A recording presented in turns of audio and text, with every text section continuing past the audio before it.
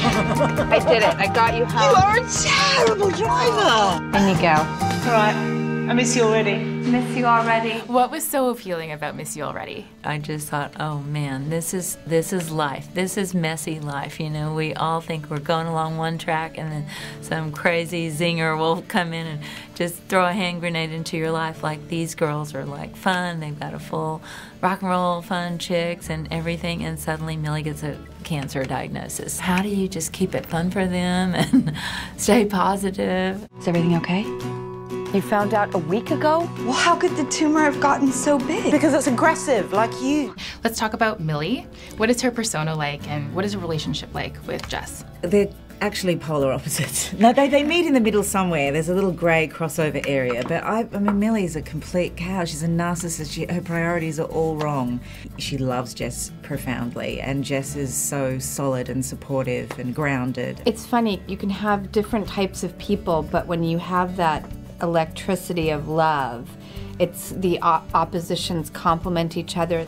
Jess, this is Nurse Sam. Nurse Sam, this is Jess, my elderly companion. Sam, I want a blue cap. Just so you know, with your type of chemo, there's only about a 20% chance it'll save your hair. She wants the blue cap. She's getting the blue cap. Can you talk about the difficulty of supporting a friend who's in such a different place in her life? That to me is really what friendships are, especially lifelong ones. And that is so well captured in this movie. And I think it is so true to life.